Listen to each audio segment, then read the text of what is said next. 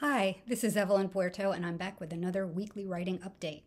Well, last week I made a huge push and wrote almost 20,000 words and finished up the first draft of The Girl Who Walked on Water.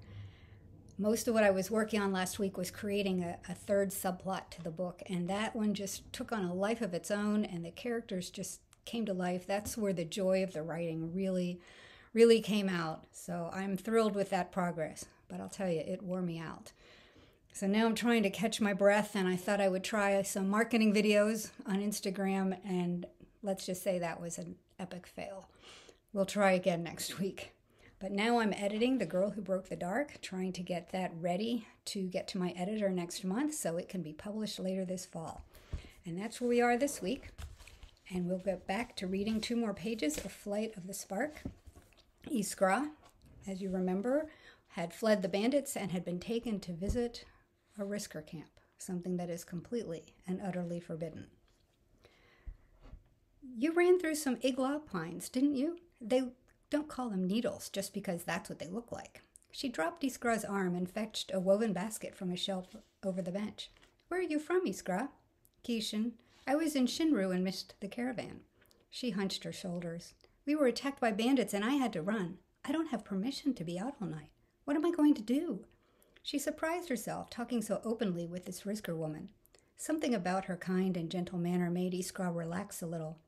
Let's get you fixed up first, then we'll worry about that. If you please, you don't have to go to any trouble. The woman laughed. No walla who uh, at all, dear. By that, Iskra guessed she meant helping her was no trouble at all. As she talked, the woman crushed dried, dried herbs between her fingers, then poured oil on them and mashed them with a mortar and pestle. She wiped the blood from Iskra's face and arms with a damp cloth and dabbled the oil mixture on the cuts.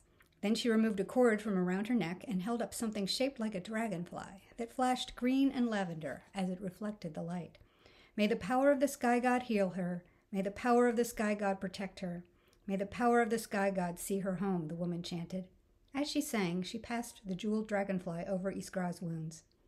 In spite of her pain and fear, Iskra tried not to laugh. Silly superstitions these riskers have. They not, may not be savages, but they are ignorant. Do you want something to eat? the woman asked as she replaced the dragonfly around her neck. Yes, if you please. The woman turned back to the fire, and Iskra took the opportunity to look around. The floor was pine, polished and shining, as were the tables and chairs. She ran her fingers over the smooth surface of the table, tracing the rounded edge. She noted how solid and sturdy the bench was, not making a more a move or creak as she shifted her weight. Braided rag rugs made bright splashes of color on the floor, the reds and yellows of autumn leaves mixed with green, brown, and white. A huge brick oven filled most of one side of the room. Rows of tiny plants in pots sat on the windowsills. A ladder rested against a wall leading up to a loft. Iskra felt the room embrace her in a warm and comforting hug. Maybe the riskers weren't so bad. Iskra bit her lip. No, they're barbarians. I can't let them fool me.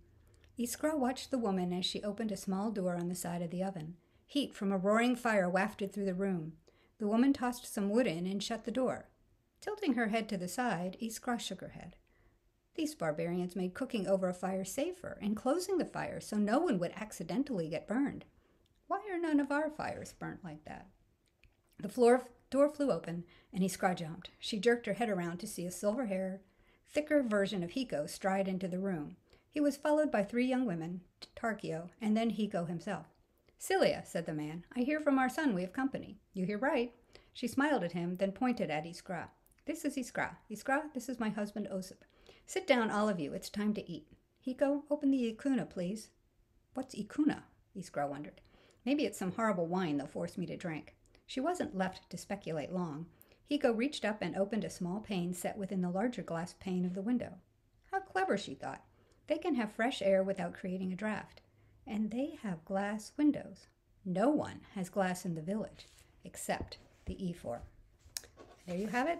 Two more pages of Flight of the Spark. Come back next week and we'll keep reading and I'll give you another writing update. Thanks for stopping by.